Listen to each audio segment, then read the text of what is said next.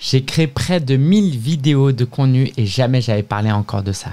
Du leadership pragmatique. C'est un des blocs de notre système Ascension et aujourd'hui j'aimerais vous parler bah, des objectifs de travailler son leadership en tant que coach, d'une introduction de définition parce qu'on pourrait aller très très loin dans ce qu'est le leadership et puis dans des applications concrètes de ce leadership pour que vous puissiez repartir avec des idées de quoi faire, quoi mettre en place, comment travailler votre leadership pour pouvoir mieux développer votre business. Alors, c'est quoi les objectifs? Selon moi, les objectifs du leadership, en tout cas en tant que coach, c'est la première chose, c'est de créer un environnement humain que j'ai appelé embarquant. C'est cette idée que euh, peu importe la destination où je vais, mieux vaut que je sois embarqué dans un bateau avec des gens passionnants parce qu'on va atteindre des belles choses que d'aller dans un super endroit avec un environnement pas du tout, du tout épanouissant. Et ça, pour moi, c'est important. C'est-à-dire qu'on est des êtres sociaux et de vouloir tout faire tout seul, eh ben, va nous limiter. Vous connaissez le proverbe africain qui dit que seul on va plus vite faut pas non plus oublier cette partie-là parce que c'est important d'aller vite, surtout au début. Mais ensemble, on va plus loin. le deuxième point, le deuxième bénéfice à travailler son leadership, c'est d'être en mission de manière plus légère. C'est-à-dire que si vous devez conduire, euh, traverser le désert et conduire un véhicule, et vous êtes le seul à conduire un véhicule euh, pendant tout le trajet, c'est lourd, ça fait peur, c'est dur, c'est ambitieux et en même temps, bah, tout pèse sur vos épaules. Vous n'avez pas intérêt à ne serait-ce que euh, d'avoir un rhume ou un peu de fièvre. Et l'idée du leadership, c'est de pouvoir soulager ça. C'est-à-dire qu'on veut un objectif ambitieux, mais on veut le faire de manière légère. C'est pas parce qu'on a un objectif ambitieux qu'il faut souffrir et se sacrifier. Pourquoi? Parce que justement, on va s'appuyer sur un environnement, sur un groupe. Et ça, c'est passionnant. Est-ce que vous préférez atteindre un objectif seul ou le même objectif avec d'autres personnes, avec qui vous pourrez célébrer, vous raconter des choses, vous entraider et vous amuser. Et puis le dernier point, c'est de créer un héritage. Alors ça, je ne sais pas quel âge vous avez, mais c'est sûr que moi, la première fois que j'ai entendu ce concept de forcément d'entrepreneur américain, de leave a legacy, vraiment un héritage, j'étais en mode bon, ça me parle pas, je sais pas, j'avais 25 ans, euh, moi je vais vivre encore 80 ans, euh, laisse-moi tranquille, on verra ça plus tard. Alors aujourd'hui, j'ai que 36 ans, hein, euh, mais, mais, mais, bah, je commence à y réfléchir parce que déjà, je pourrais avoir un accident et ne plus être là dans un an. Donc tout est possible. Mais puis, et puis parce que bah, peut-être que ça a plus de sens. C'est sûr que depuis que je suis père, peut-être que ça m'a fait un peu plus réfléchir. Mais au-delà de ma famille, de moi, bah, j'ai envie que la mission de l'entreprise puisse perdurer au-delà de mon existence à moi. Alors c'est pas, honnêtement, c'est pas le focus que j'ai tous les jours. Hein. Tous les jours, je suis pas en train de lire des super livres de leadership et méditer à quand. Voilà déjà, prenons soin de notre business, payons, nos factures, prenons soin de notre équipe, avançons, développons notre marketing. Euh, mais mais, mais c'est quand même dans un coin de notre tête. Donc, voilà, très important d'avoir ces trois bénéfices en tête. Sinon, bah, comme moi, vous n'allez pas vous intéresser au leadership. Alors, c'est quoi le leadership? La première chose, c'est que c'est une influence.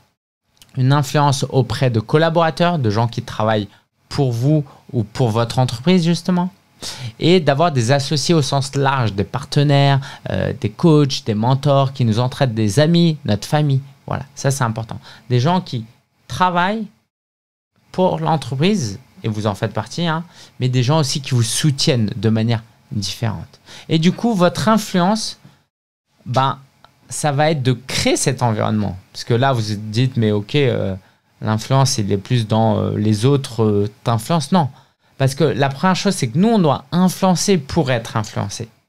C'est-à-dire qu'on doit aller chercher ses associés pour que ces associés nous apportent de la valeur. On doit aller chercher ses collaborateurs pour qu'à leur tour, ils viennent nous apporter de la valeur.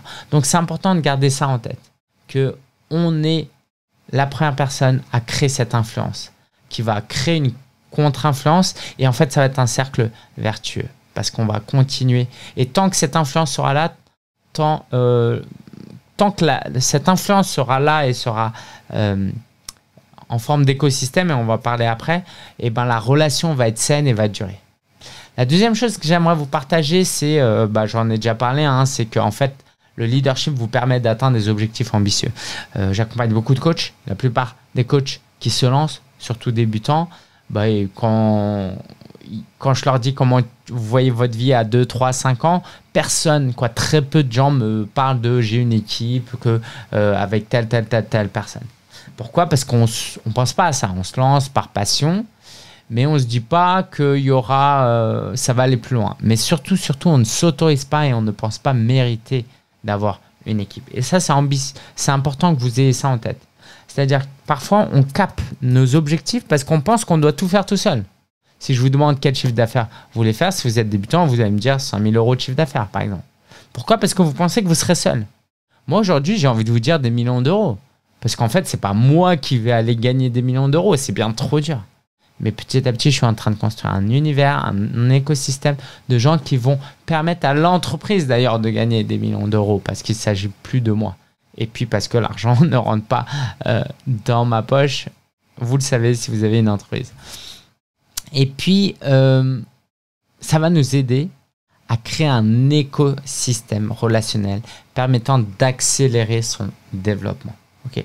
Donc, c'est un résumé des deux points précédents, c'est-à-dire qu'on va créer une influence et on va être influencé et on va avoir des objectifs ambitieux. Et il faut créer un écosystème. Il faut que tout ça, ça s'imbrique. Il ne faut pas que ce soit séparés. Alors, plus concrètement, quelles sont les applications que vous pouvez en tirer? La première chose, c'est de fixer des objectifs plus ambitieux que si vous étiez seul. plus ambitieux, ça ne veut pas dire des objectifs fous et irréalisables. Fixer des objectifs ambitieux, c'est pas non plus se mettre une trop grosse pression. Fixer des objectifs plus ambitieux, c'est que si vous visez 3000 euros, bah dites-vous, ok, est-ce que je peux pas faire 4000 euros? Oui, mais 4000 euros, c'est dur, il faudra très Ok, mais peut-être que si j'ai un ou une assistante, ça va m'aider. Ah ouais, ok. Si vous gagnez 5000 euh, euros, peut-être vous pouvez dire, euh, tiens, si je visais 10 000 euros, oui, mais 10 000 euros, c'est compliqué, euh, il faut beaucoup de clients, faut gérer. Bah ouais, mais peut-être que vous pouvez recruter un coach qui va vous aider à gérer ses clients. Ah, Il y a d'autres réflexions qui viennent. Donc, collaborer, hein, ça, je, me répète, mais vraiment chercher à avoir des gens qui vous aident. Euh, moi, j'ai mis du temps avant d'avoir une équipe solide et stable. Ok? La première fois que j'ai recruté, c'était à 8-9 ans. Ok? Alors, je vous souhaite d'aller plus vite et de faire moins d'erreurs grâce notamment à ce genre de vidéos. Mais moi, j'ai mis beaucoup, beaucoup de temps. Donc, commencez, commencez. Plus tôt vous commencerez, plus tôt vous pourrez progresser. Puis d'avoir des partenaires, c'est pour ça que nous, on fait des sommets, euh, notamment. Euh, c'est pour ça que je vais déjeuner avec des entrepreneurs pour créer des partenaires qui peuvent nous aider.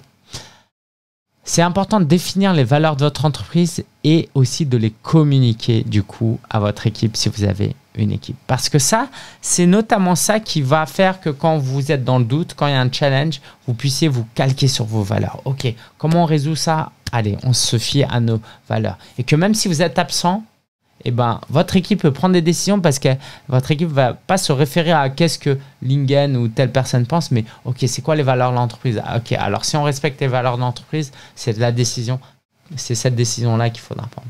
Et puis parce que vous allez attirer aussi des collaborateurs et des partenaires qui vont être euh, intéressés par ce que vous faites. Alors que si euh, vous ne définissez pas ces valeurs, bah forcément, ce sera beaucoup plus compliqué d'attirer les bonnes personnes. Qu'est-ce qui fait que quelqu'un veuille travailler avec vous plutôt qu'avec quelqu'un d'autre? C'est notamment vos valeurs. Et puis j'ai envie de vous dire de développer vos soft skills. Alors je vous en ai mis que quelques-uns. Et le premier bah, vient de la Bible. Et, euh, et, je le trouve hyper intéressant parce qu'il parle d'amour. Et oui, on n'en parle pas assez, le leadership, c'est avant tout d'aimer. C'est pas juste des techniques, ok? Je peux pas leader une équipe juste avec des techniques et avec mon cerveau. Et je vais vous prendre cette définition de l'amour dans la Bible, qui dit que l'amour est patient, il est plein de bonté. L'amour n'est pas envieux. L'amour ne se vante pas, ne s'enfle pas d'orgueil, il ne fait rien de malhonnête, il ne cherche pas son intérêt, il ne s'irrite pas, il ne soupçonne pas le mal. Waouh Challenger, n'est-ce pas? Donc vous comprenez bien que si vous incarnez cette définition de l'amour, hein, qui n'est pas forcément exhaustive, eh ben forcément, ça va aider votre entreprise. Et du coup, si je me permets d'ajouter euh, certaines choses, j'ai envie de vous parler de courage, le courage d'y aller, de prendre des risques calculés, mais aussi du courage, euh, l'humilité, ok, de se remettre en question.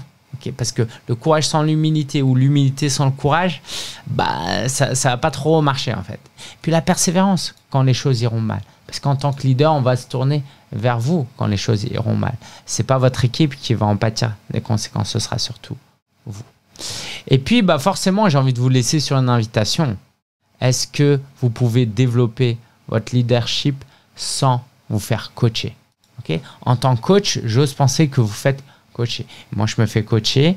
Et bah, forcément, si vous voulez aller plus loin et que vous aimez nos valeurs, vous aimez comment on travaille, je vous invite à aller dans le, euh, lien en description où on vous euh, fait part. Quoi, il y a une vidéo de présentation du programme Coach en Mission.